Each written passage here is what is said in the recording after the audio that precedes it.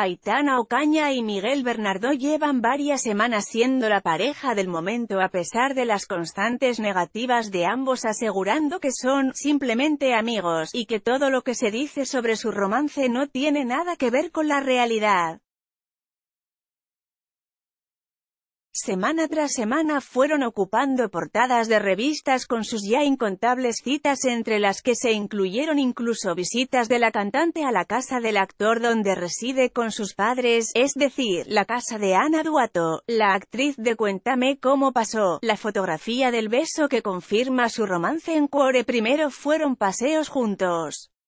por Madrid, luego noche con amigos y abrazados a la puerta de un local de fiesta, y, finalmente, ha llegado el beso.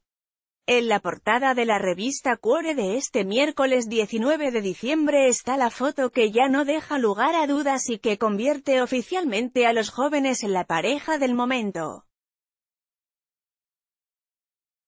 Un fotografía de un beso en la boca de lo más romántico que evidencia la complicidad que hay entre ellos.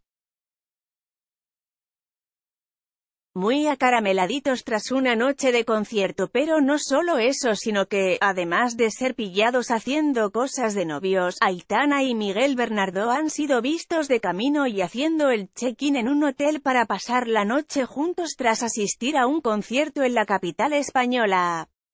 El motivo del lugar para pernoctar es totalmente desconocido, más aún teniendo en cuenta que la catalana hace escasos meses que se mudó a Madrid, concretamente el piso propiedad de Blanca Suárez y que fue su casa hasta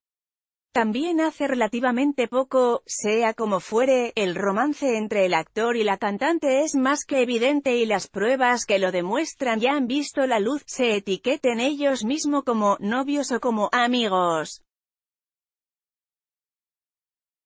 Con esto también parece que los rumores con el modelo Xavier Serrano se han quedado ya en el olvido. Su corto pero intenso romance con Cepeda ha vuelto a transformarse en una bonita amistad, y de Vicente, el novio que tenía antes de entrar en OT 2018, todavía no se ha manifestado al respecto como se hizo con el cantante.